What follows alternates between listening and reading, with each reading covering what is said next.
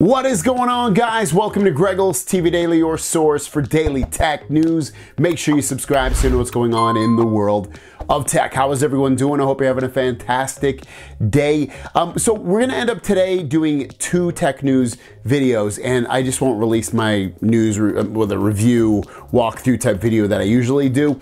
Reason being is because when I went to Google I/O meetup thing they had in Los Angeles that took I, I, had to do my news video so early that two big stories dropped and that was the leaks of what the galaxy z flip 4 and z fold 4 will look like. And then i didn't want to there's all there's some other news as well to go along with that uh, with other devices and i didn't want to get it all mixed up. So that's why we're going to have two tech news videos today. One right now at 5.30 in the morning pacific and then another one later in the day. Um, uh, the other thing I want to let you guys know is I didn't do a vlog when I went to the Google I.O. thing. Um, I did post a bunch of stuff on my Twitter, which is at Greggles TV, so go over there if you want to see some photos and things like that that I tweeted out. And also I tweeted out about the new Pixel devices as well. So without further ado, let's jump into the tech news. Our first story of the day is about the Galaxy Z Flip 4, a phone that is Samsung's best selling foldable device. And it's the best foldable selling device, period so far, the flips. Um, and the Flip 4 is, I don't know, there's there's basically one thing to be excited about, and then the rest of it's kind of like, eh, you know what, whatever. It, because design-wise, it looks eerily similar to all the other flip phones. So here, check this out. So all these, all this stuff is coming out from OnLeaks. He was cool enough to put out some really, really cool renders of what this phone is going to look like. And uh, he really did a great job with these renders. And the biggest takeaway from these renders is that the outside display is slightly larger. Now we also know it's gonna have faster charging at 25 watts, which will match its brethren uh, on the Z Fold side as well as some of the older Galaxy phones as well. So 25 watt fast charging, slightly bigger outside display, maybe a little bit flatter display as well, like the main display. That might, but other than that, really not much more. Still gonna get the double camera on the back, the camera on top on the display. Um, so again, not nothing crazy about that, but I think what you can take away from from not only the design of what they're doing with this, um, but price. We don't fully know the price, but you've got to expect that it's still at least going to be $9.99. But you know what?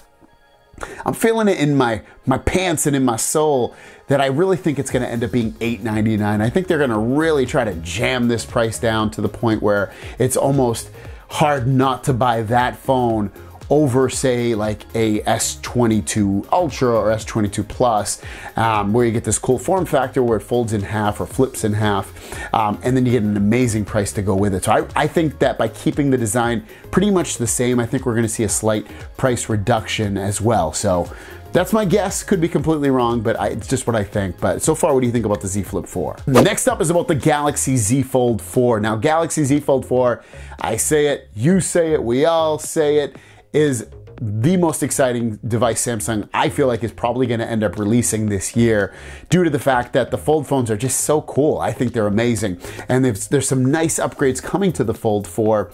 And again, OnLeaks is, is, is the one leaking this information out of what it's going to look like. So let's take this closer look at the next fold device from Samsung. So what we got here is a design we've seen before in other leaks. So I don't think it's gonna look terribly different than anything else we've particularly seen. But again, what you can take away from this is that no S Pen integration in terms of like it's not going to be it's not going to integrate into the the phone itself, which we knew about. Um, also, you're looking at the camera setup, so you have that triple camera setup. Uh, it doesn't look like you're going to get a periscope um, lens on there. Um, what is that going to affect? Potentially zoom features, where the zoom potentially might not be 100x or might not be um, as good as some of the other phones like the S22 Ultra has, but the camera setup, like the lenses themselves, would match with the S22 Ultra. Um, I'm, so I'm, what I'm guessing, and I could be completely wrong, is that we'll probably get S22 like camera features and um, quality, um, albeit probably not 100x zoom. That could be wrong, but I, I, think we'll still get a pretty good zoom. I just don't think we're going to end up getting 100x on there. The other thing that I've seen people write, I don't know per se, but um, potentially no laser uh, focus, which would affect how quick it could focus. There might be focusing issues, but I don't like the S20 Ultra did. But I don't think we're going to run into that. I'd be highly suspect that that would even come to that. Like them releasing another phone that had focusing issues. I don't think it's going to come to that. So I think focusing, I think will be okay, but who knows? We'll wait and see when that comes out. But otherwise, you're looking at a phone with, uh, you know, a slightly fatter outside display, slightly fatter inside display. But at the end of the day, if you're new to this line, you're not going to really probably probably notice much of a difference. Or if you haven't had the phone in a while, you probably won't notice that much of a difference. Um, so it's really going to be almost in a way kind of related to the Z Flip 4 in uh, in that you know there's some changes coming to it, but not drastically completely different physically. At least there is a little bit more than the Flip 4 in terms of it being, like I said, a little bit more fatter and a little bit shorter. But ultimately, uh, I think we're still going to see a price and there's the rumors anyway, price is probably gonna still sit around $17.99, $16.99 at the lowest. But uh, yeah, it's looking, I, am still excited for the Z Fold 4, especially with better cameras um, and a slightly different design. It's all, that's something I'd still be interested in uh, overall. And probably brighter, brighter display as well. So there you guys go.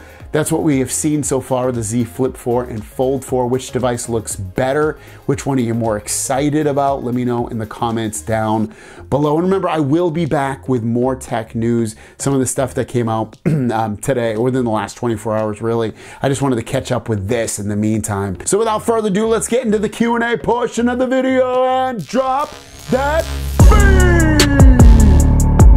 First question from Shajil Shazad said, would you prefer thicker and bigger battery or you prefer a slim and light phone with smaller battery? I would rather have a thicker with bigger battery. I'm fine with that. I use a pop socket. I'm, i want the thicker with the bigger battery. Matthew Morris says, I'm happy to see you review this, Greg. He's talking about the uh, T-Mobile service. He said, I've been considering trying it as we are a T-Mobile Magenta Max customer, my concern is jumping out of the Spectrum Gig internet service with the 900 meg download and 40 meg upload speeds, but it's pricey over $100 just for the internet, which makes T-Mobile home internet very inviting. My concerns would be with this working for us with all the devices we have. What do you think? We have about 40 devices on our network and use the Orbi Mesh router system. Devices include a few streaming TVs, many phones, ta uh, iPads, tablets, ring cameras, few smart camera devices. You're a big tech guy, and I'm sure you have a bunch of devices too. I'd love to hear more about this. When do uh, when I do a speed test on my S22 Ultra disconnected from my Wi-Fi, I'm only getting about 100 megs download and upload.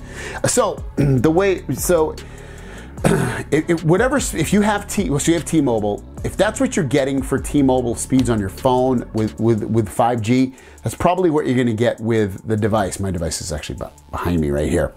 So that's, you might not work that well for you.